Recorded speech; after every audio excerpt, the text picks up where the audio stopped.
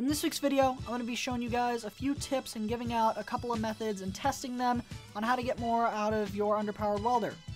Now when I say underpowered, I don't mean all 110 volt welders, just any welder where you might be trying to squeeze a little bit more out of it than it can actually give, if you know what I'm saying. Without further ado, let's get right into it.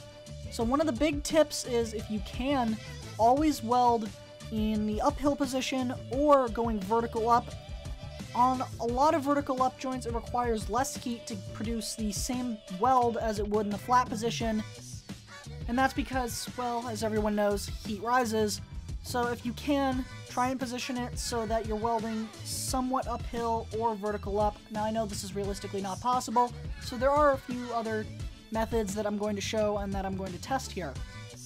Now just to get what I think are the best results out of what I can do here, just some, you know, non-scientific testing, I will be running everything uphill but not quite vertical up. More of a 45 degree angle. So the three methods I'm going to be testing out today have to do with material prep, and this is key if you want to get good penetration and a strong weld. Now the three types of material prep that I'm testing are no prep, all I've done is clean the area around the weld. Chamfer or bevel, there's no gap, I've just beveled or put a small bevel, that's a chamfer by the way, in the material to allow the weld to kind of sink in and get a little bit more penetration and the last one that I'm going to test is going to be the open root, the open butt root joint configuration. Now I couldn't get any actual arc shots of the butt joint itself, the actual welding part of the joint, because my camera wouldn't focus while I was trying some new things, so I'm not really trying those anymore. But this is basically what it looks like. The weld is not really digging in all that much. This material I'm using is probably close to 3 eighths of an inch thick, maybe 5 sixteenths, or 15 sixteenths, pardon me but I'm not really sure, I didn't measure it. So it's way thicker than what my welder can weld in a single pass. And you'll see that reflected on the back side of the weld, because I'm going to flip everything over and we're going to check for penetration.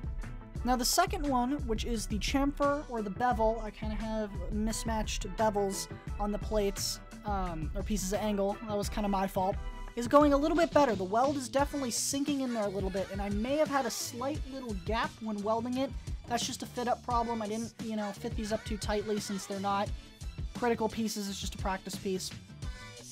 But you might be able to see this. The weld is sinking in a lot more. It's digging in a little bit more. As for the open root weld, I think you guys know how this is going to go. This is something useful to know. You don't have to be necessarily the best at it unless, you know, it's your job to be welding open root, in which case you should probably be the best that you can. But it's a good but it's a good technique to know in situations like this. Now, obviously, this is going to get the best penetration because we're actually welding, essentially, the backside from the front. I'm not going to get too in-depth into open root welding. I don't know too much about it. This is just a little technique. For the root, I'm just using some 6011 since I don't think my machine can run 6010 and I don't have any handy. And I'm trying kind of a mix of the whip and pause and a little Christmas tree technique where it's just a bunch of little triangles.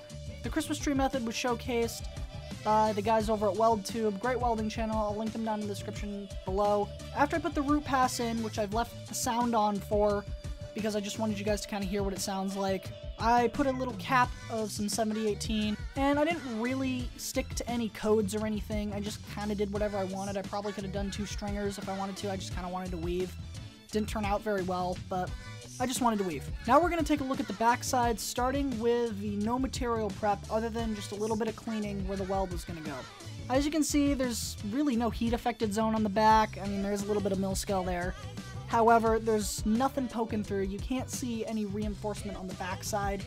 This weld would by far be the easiest one out of these three to break.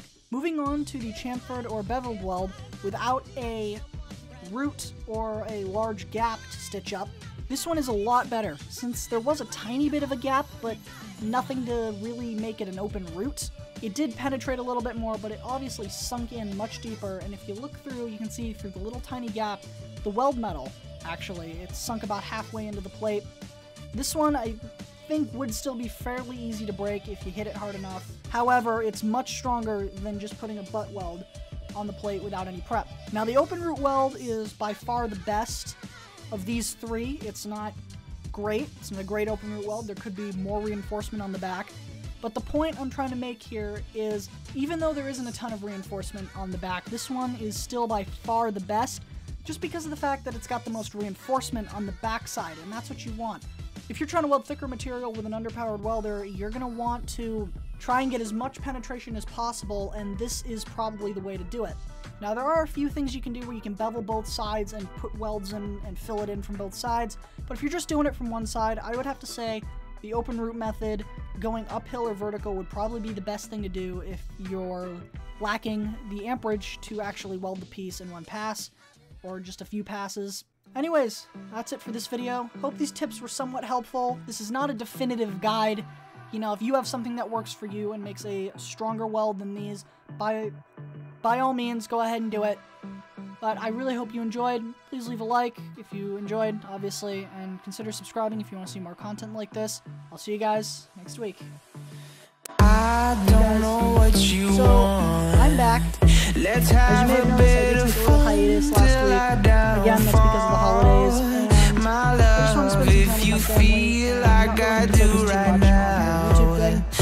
Anyways, I'm say back. you're Hope you guys had a good holiday season, whatever you celebrate, and I really hope you guys had a good year. I'm looking forward to 2018 in real life and also on YouTube.